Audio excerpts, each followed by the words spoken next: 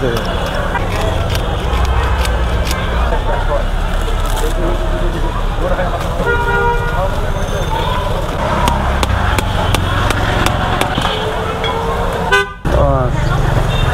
খুব কাকা আসসালামু আলাইকুম। ওয়ালাইকুম সালাম কেমন আছেন? আলহামদুলিল্লাহ ভালো। এই যে এগুলা কি কদবেল জি। অনেক বড় বড় আছে যেগুলো কি কাকা পাকা না কাঁচা? কাঁচা আছে পাকা আছে। কত টাকা পিস এটা হলো পঞ্চাশ এটা হলো ষাট এটা হলো সত্তর। ওইটি সত্তর টাকা মানে সাইজ তো অনেক বড় না? ওগুলো কি পাকা? হ্যাঁ এগুলি পাকা আছে এগুলি পাকা একটু কালো কালো পাকা হইবে কোনটা? না কালো পাকা না সাদা পাকা হব সাদা পাকা? জি। তো দেন আমার একটা এখান থেকে দেন। একটু কালো কালো সাইজ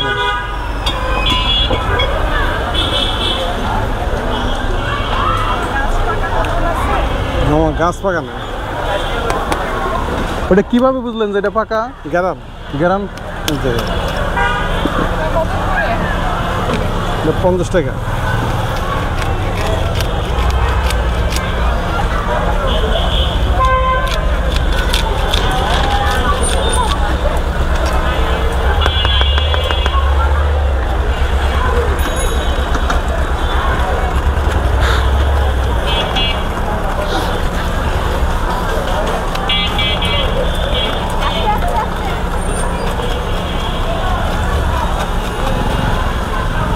ও কদবেলের খুব সুন্দর গ্রান বেরোছে এটা কি দিলেন চিনি?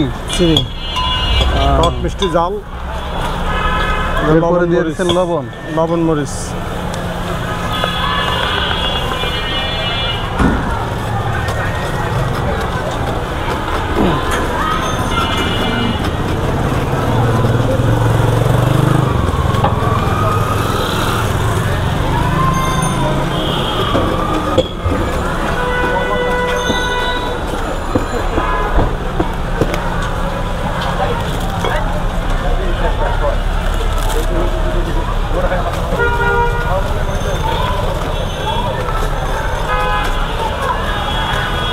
আজকে কত পিস কদবেল নিয়ে আসছিলেন?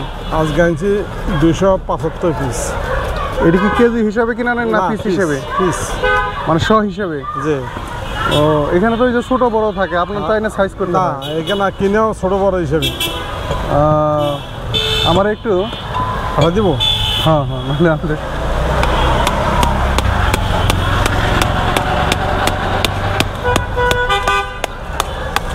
বাহ।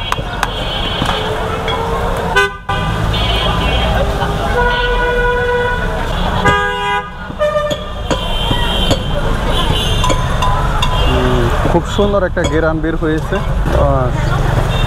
খুব সুন্দর খুব সুন্দর। এসে মামার মাসালা কদবেল।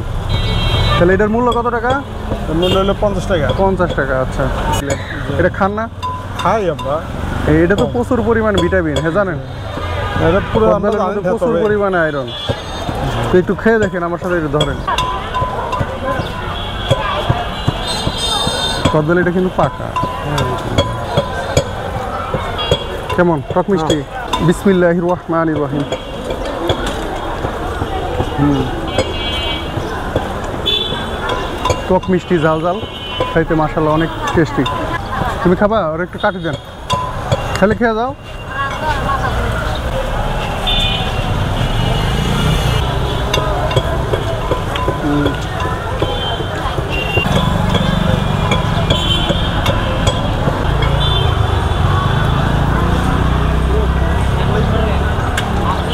যাই হোক, মাসালা কদবেল খাইতে আমার কাছে বেশ ভালোই লেগেছে ভিডিওটা কেমন লাগল অবশ্যই কমসে জানিয়ে দেবেন আর সবাই ভালো থাকবেন, আল্লাহ।